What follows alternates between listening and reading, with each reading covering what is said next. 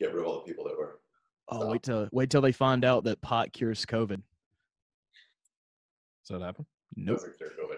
They were like, it's possible that one strand of CBD only marijuana may um, slow down, and everyone's like, pot cures COVID. Yep. Yeah, exactly. I mean, if you do go to uh, purespectrumcbd.com and use promo code Rushmore, you can get 10% off that shit and cure your coronavirus. We need to get a Kratom sponsor so I can stop spending all this goddamn money on Kratom.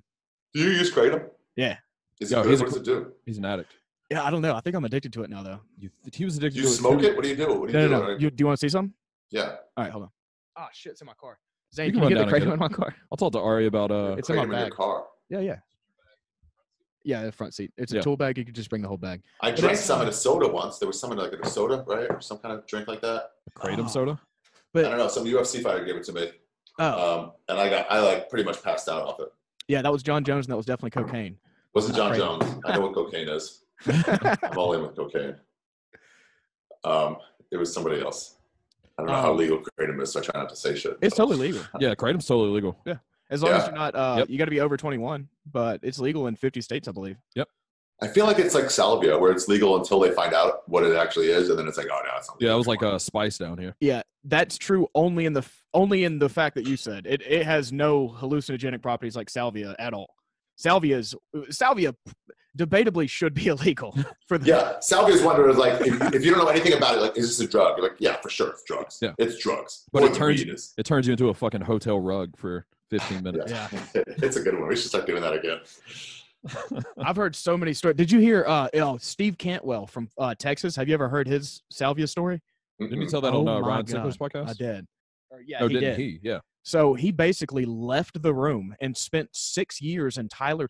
Left the room that he was in, woke up on a boat, spent six years in Tyler, Texas, at a fucking a- apple orchard, and then just like fell through the grass one day, woke back up in that room. Yeah, that's kind of what I did. Yeah, something similar to that. But yeah, it was just like, whoa, I had a whole life going. And then for the first five minutes, like, what is this place? Wait, I kind of remember this place. It's Yeah. like, oh, it's Red Ben's apartment. See, I watched I watched my friend do it on the tailgate of a truck, and he just got like he kind of slumped over and just kind of went dead for a little while. Though when he came back, he wouldn't talk to us, and we're like, "Dude, like, what was it?" He was like, "I was dead.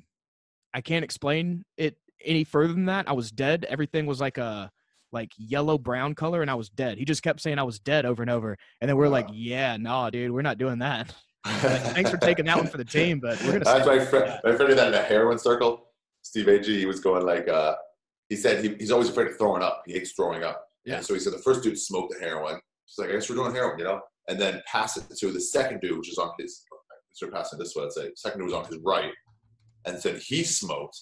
And as he was smoking, the first guy barfed, and then passed the the, the pipe to Steve. Yeah. And then Steve was like, "Wait, that guy barfed." He was like, "I guess it was just that guy." And as he was ready to light it, the second guy barfed also. And Uh-oh. Steve was like, "Oh no, fuck this! I don't want to barf." But that's I how close he was doing heroin. Or if you might as well try it. Where you guys live, Mississippi? Yeah. Yeah. So everyone does heroin out there, right?